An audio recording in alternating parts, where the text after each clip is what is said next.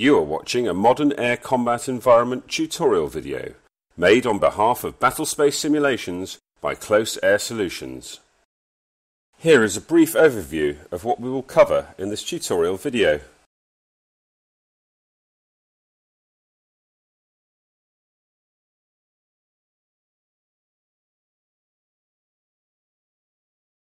With collision avoidance enabled, entities will not go through each other when they impact.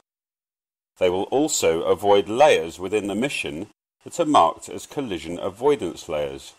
For example, water, buildings, fences, etc. The collision avoidance setting is enabled or disabled for all platforms on a per mission basis via the Mission Settings tab. When the collision avoidance is activated and an entity is selected, you will see a white rectangular box with the entity icon. This white rectangular box defines the avoidance area of the entity, known as the bounding box. Collision avoidance can be selectively disabled for any platform using the Platform Properties window in the Physical subsection. So as an example, if I have a stationary vehicle on the road here, and I route another vehicle directly through the stationary one, with collision avoidance enabled, it will drive around it to get it to its destination.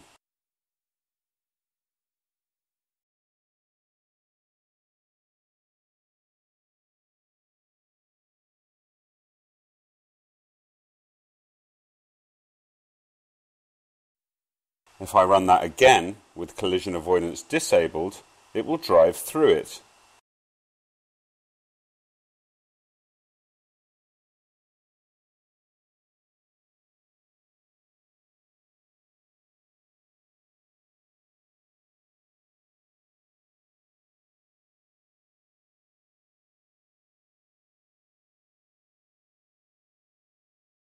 We have discussed the avoidance of entities. Now we'll discuss the avoidance of objects. To avoid buildings and the like, Mace needs to understand the dimensions of the building. For entities placed within Mace, this is included in the entity information. But for cultural entities, Mace will need to be told the position and location of cultural objects that are not inserted via Mace. As we did in the tutorial on waypoints and routes, we need to insert a vector file. To recap, this is done from the File menu, Import, Vector Layer. For buildings, these vector files are usually called footprints.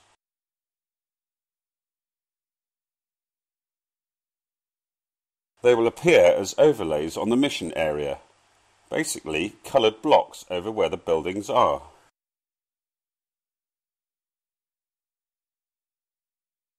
All imported vector layers can be seen in the Layer Manager, which is accessed from the View menu. Within the Layer Manager, you can see all the vector layers by expanding the Vector option. Layers that are to be avoided should be labelled as Auto Avoid. This can be seen by right-clicking on the layer and noting that the layer is checked as Auto Avoid. There are a number of other options that you can change about the appearance of vector layers. Just right click on the layer and go to the appearance option to open a bunch of very self-explanatory preferences for the appearance of the layer, such as the area shading colours and the outlines. While we're in the Layer Manager, it's worth briefly noting that you can turn on and off layers in Mace here. One of the most useful applications for this is the ability to see the waypoints of all platforms by deselecting the option that says Selected Platform Only. This can be very helpful when editing, but most users only deselect this temporarily and then return to the Selected Platform Only selection after, as the mission area can get very cluttered. Now that we've imported all the building footprints, the ground entities with collision avoidance enabled will not pass through the buildings, but rather go around them because the building footprints are an auto-avoid layer.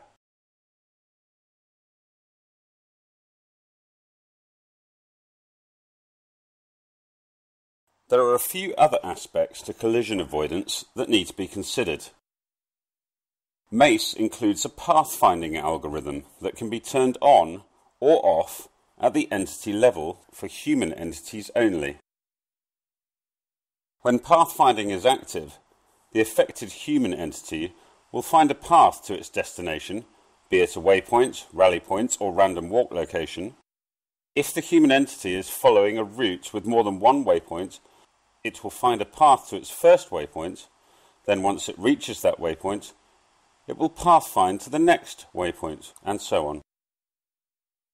For the pathfinding function, we have to have at least one auto-avoid layer in the layer manager. Mace uses auto-avoid layers to create an in-memory avoidance grid. The avoidance grid it loaded at the beginning of the mission. You can see if it was successful in loading in the Messages window, which can be accessed from the Analysis menu. You can also press Ctrl and the G key to force recreation of the in-memory avoidance grid. An auto-avoid grid cell width in meters setting is located within the MACE system settings under the Options tab.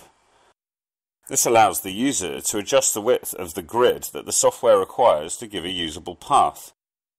If a mission has a large grid, and a small auto-avoid grid cell width is used, Mace will consume more memory and time to find each path.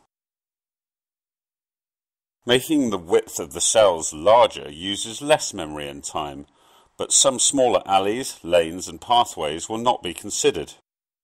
For example, when using Mace's pathfinding mode, the human might pass an alley that is clearly large enough for them to pass through, but proceed along a path that is longer but has more width between obstructions.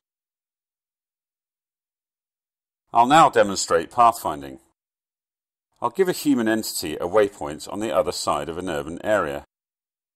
Enable his pathfinding by clicking on the pathfinding button in the route subsection of the entity control menu. You now see a series of light blue dots that show the path that the entity will take to the next waypoint.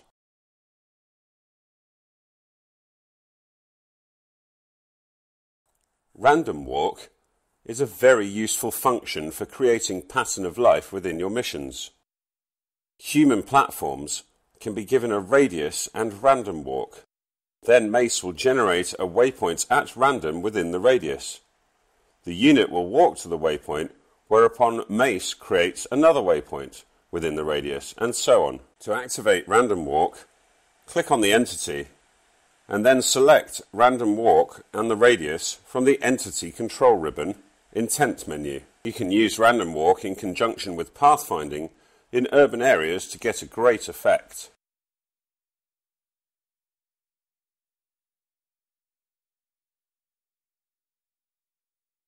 Sometimes it can get crowded in tight urban areas, and the humans can get in a bit of a jam trying to avoid each other. For this reason, there is an option within the mission settings to turn off collision avoidance when pathfinding.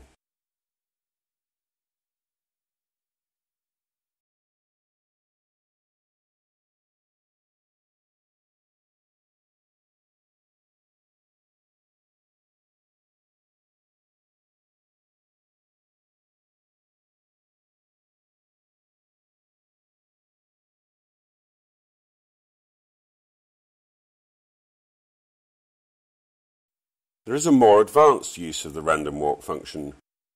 Within MACE platform properties, you can tick the checkbox Random Walk Destination. This means that entities that are placed in random walk mode will occasionally walk to the random walk destinations within their allocated radius and pause there for a random amount of time before moving on with their random walk. This is great for marketplace type situations or perhaps a guard commander occasionally checking on troops at sentry posts, for example.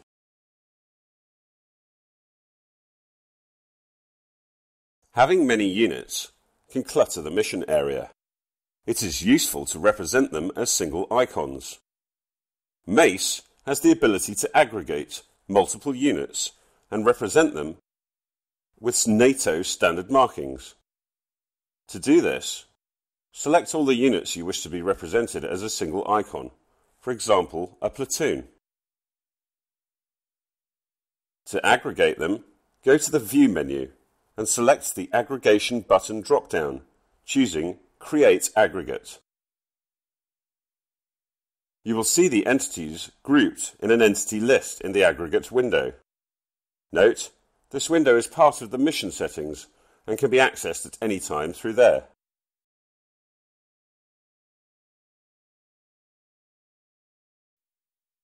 The appearance of the icon on the map is dependent on what is chosen in these drop-down menus.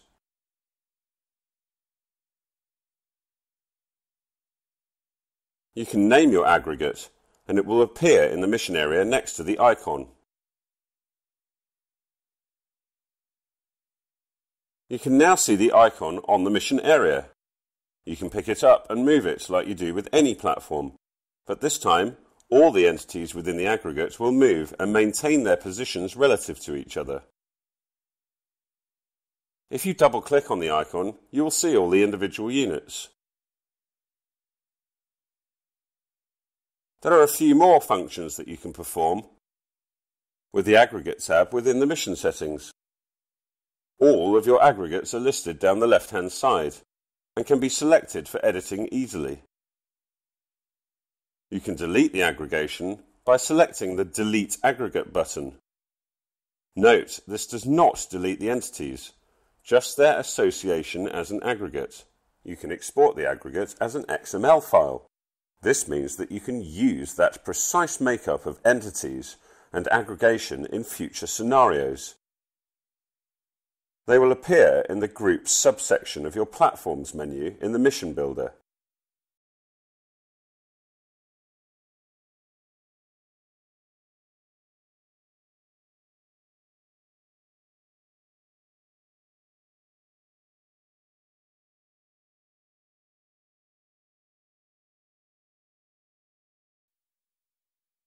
You don't have to select icons in the mission area and then create an aggregate.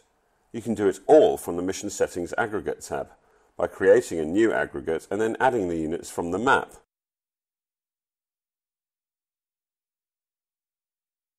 When you've finished adding, press the Add from Map button again to deselect it. Here is the summary of what we covered in this tutorial video.